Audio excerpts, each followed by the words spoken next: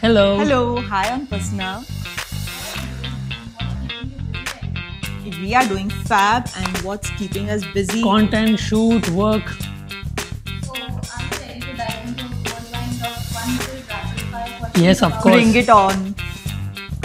What's your ultimate comfort food? It has to be pav bhaji. I prefer protein bars. I like that. And if you could only eat one cuisine for the rest of your life, what would it be? North Indian. North Indian of for both of us. Yeah. What's the weirdest food you have tried on your travels? I have had gulab jamun with pav, and to my surprise, it was very nice. Ah, no, Kushal. If you could only eat one cuisine for the rest of your life, what would it be? Again, North North Indian? Indian. Yeah. We are desis. We prefer North Indian. And who's the better cook between you? Of course. It has to be me. Let's get into hotels. Uh, describe your dream hotel in three words. Uh, for me, it has to be luxury, comfort, and exotic location. And good food. Good food. Food. Uh, share your favorite hotel memory as a couple. Uh, so it has to be watching sunset when we were in Maldives in the water villa. It very nice. And what's the most unique hotel uh, amenity you have experienced? Yeah, I was in uh, Palm Atlantis. We had gone to the water park. So the hotel with water park was damn good. And if you could stay at any hotel in the world, where would it be? Uh, Uday Villas, which is in Udaipur. Uh, flights over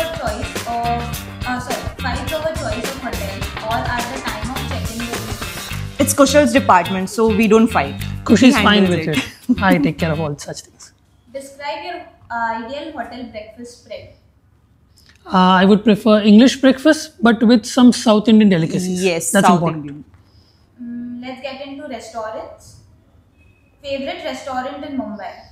It has to be Bastion. Yeah, Bastion. Share your most memorable dining experience together. It was our first date. When Yeah, we met I for think the that was first the best. Yeah. If you could have a meal with any celebrity, where would you go and who would be the celebrity? Bhaijan, Salman Khan sir. I prefer Shilpa Shetty, the Sunday binge. Uh, travel destinations. If you could teleport to any destination right now, where would you go? Finland to watch the northern lights. Uh, share the most underrated travel destination you have visited. Uh, I would say it's Prague, Czech. Very beautiful city. Describe your dream vacation in just three words. Uh, For me, it would be nature, mountains, and peace. and for me, again, it has to be luxury, comfort, and good food. Uh, what's the most adventurous activity you have done while traveling? I'm not a very adventurous person, but I have done skywalk in Dubai. I think that was my limit, which I could do. Uh, favorite off the beaten path travel spo- uh, spots too. We are yet to explore. We are not a very travel person, travels. but yeah. So, who's more likely to forget important items while packing? of course, of course, it goes without saying. It's me.